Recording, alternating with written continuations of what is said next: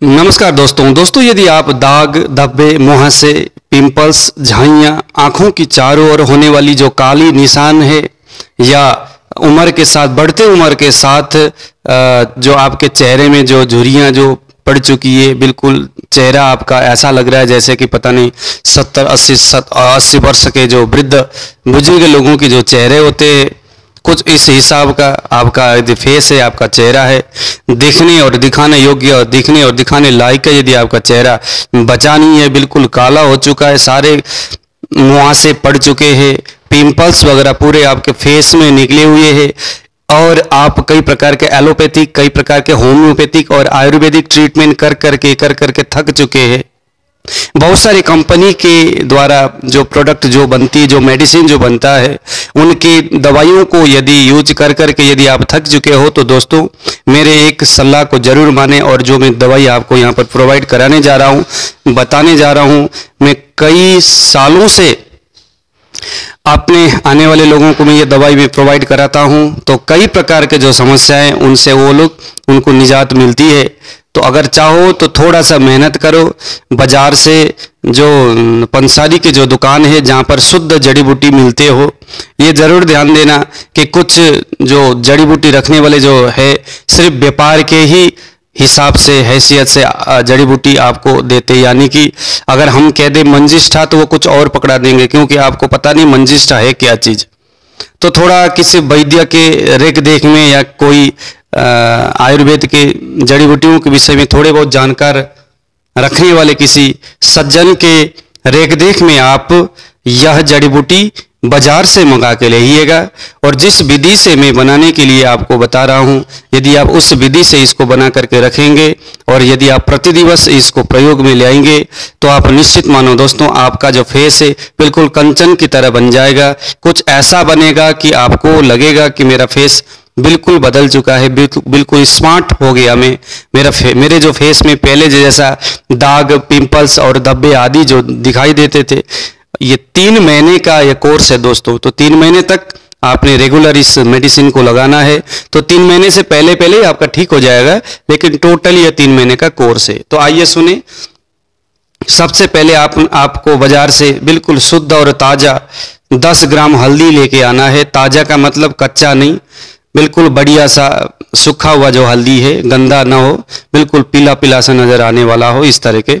और एक आम हल्दी होता है, वो भी दस ग्राम दस ग्राम दारू हल्दी, लोद्र दस ग्राम, लाल चंदन दस ग्राम, शुद्ध लाल चंदन हो, मंजिष्ट दस ग्राम, वायविडंग दस ग्राम, खरेटी दस ग्राम, जटामासी दस ग्राम, वावची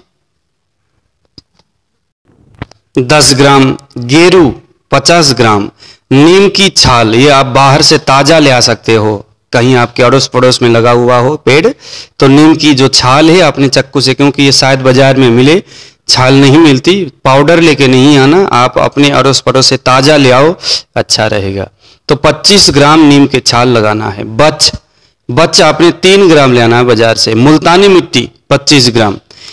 अब आ गया तीन ग्राम केसर शुद्ध और ताज़ा मलाई तकरीबन भी लगा लो कि यह तीन या चार चम्मच। और गाय का दूध उतना जितने में ये सारी चीज़ें बनाया जा सके। अब देखिए बनाने की विधि।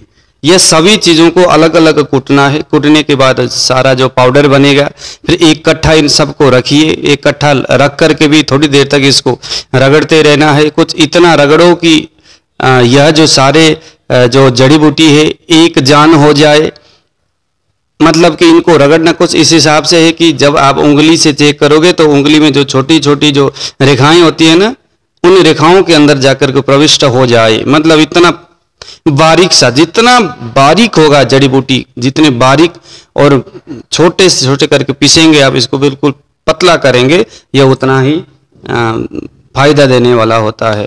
तो ये सारी चीज़ें करने के बाद बिल्कुल जब ये पतला हो जाए, बिल्कुल बारीक पाउडर सा हो जाए उसके बाद उसके ऊपर आपने क्या करना कि शुद्ध और ताज़ा तीन या चार चम्मच मलाई उसके ऊपर डाल देना, किसी एक प्लास्टिक के छोटा सा ले लेना, पात्र, डोंगा ले लेना या प्लास्टिक का कुछ भी जो होता है, कटोरी टाइप का वो ले लेना। फिर उसमें डालना आपने चार चम्मच मलाई, फिर उसके आप ऊपर आपने डालना है केसर, इसको भी थोड़ा सा कूट लेना। उसको उसके बाद फिर उसमें उतना दूध डालना जितने से कि ये एक प्रकार से लिक्विड बन जाए, ज़्यादा गीला नहीं करना लिक्विड बन जाए।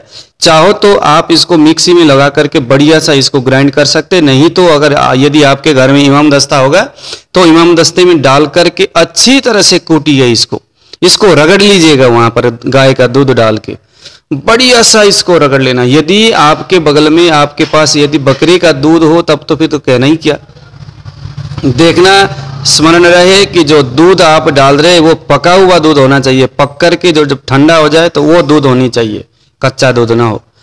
तो ठंडा पका हुआ दूध को इसके अंदर डाल करके आपने अच्छी तरह से या तो रगड़ लो, या तो आप मिक्सी में डाल करके इसको अच्छी तरह से ग्राइंड कर लो कि मतलब इसका क्या बताऊँ, इसका बिल्कुल चूरमा बन जाए, या यूँ कहूँ कि इसके, ये दवाई का भी तेल निकल जाए।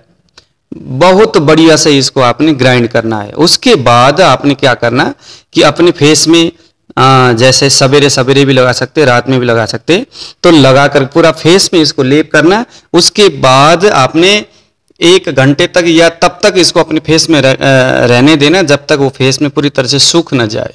जब ये सूखेगा तो उसके बाद आप अच्छी तरह से ठंडे पानी से इसको धो करके बढ़िया सा जो कॉटन का जो कपड़ा होगा